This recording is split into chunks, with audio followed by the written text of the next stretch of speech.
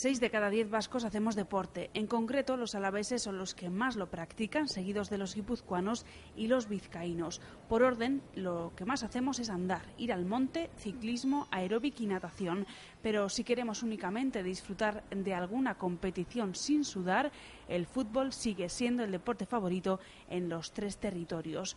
Una cuarta parte de la población ha asistido a competiciones deportivas en las que se han producido agresiones verbales o físicas. El motivo de esta encuesta era saber algunas percepciones que teníamos, sobre todo en el deporte escolar, si se confirmaban o no se confirmaban. Los datos lo, confirman, básicamente es la, influencia de los comportamientos de los padres y madres en, el deporte escolar con esa con, esa, con ese 25%, 25% y después las acciones que deberíamos realizar para ir arreglando de alguna manera esta, esta problemática. ¿no?